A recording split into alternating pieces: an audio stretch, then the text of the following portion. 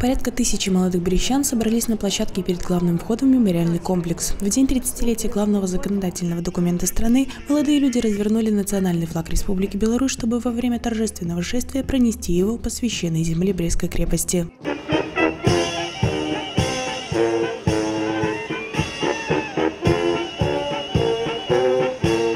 Торжественное мероприятие, посвященное 30-летию принятия Конституции Республики Беларусь, прошло на площади церемониалов. По традиции, представители местных органов власти, депутаты, члены общественных объединений, учащиеся и педагоги возложили цветы к вечному огню мемориала.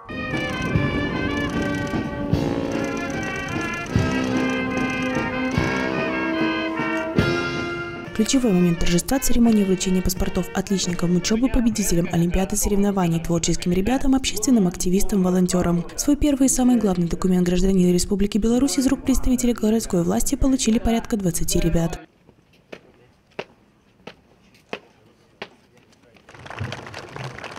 Для всех нас э, эти 30 лет – это время созидания, в первую очередь. Это тот период, когда мы наверное, в единстве создавали все самое любимое вокруг, что у нас сегодня имеется. Это наши родные, близкие, земля, работа, фабрики, заводы. И все это, наверное, говорит о том, что тот фундамент, который заложил в свое время Конституция, это является, наверное, основополагающим моментом в развитии всех сфер жизнедеятельности нашей. И, наверное, а, вот это единство сегодня нас крепит и дает возможность завтра думать в первую очередь о будущем, о мирном небе.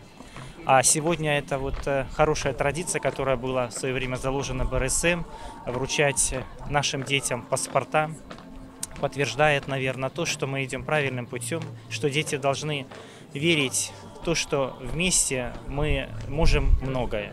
И я всегда говорю, что именно единство э, укрепляет вот этот дух патриотизма, любви, свободы к родине. Несмотря на свой юный возраст, ребята, получившие паспорта, уже достигли немалых успехов и не раз становились поводом для гордости первого региона. А получить свой главный документ – самый значимый праздник страны для них почетно и ответственно. Сначала это было очень волнительно, потому что я переживала то, что очень много людей вокруг, новых лиц, но все-таки очень приятно то, что к нам отнеслись люди, которые вручались теплом. Я очень рада то, что вот уже есть свой паспорт.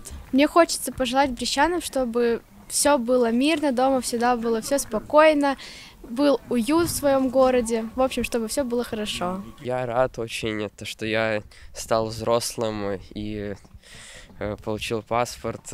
Для меня это очень важное мероприятие, и э, я становлюсь взрослее.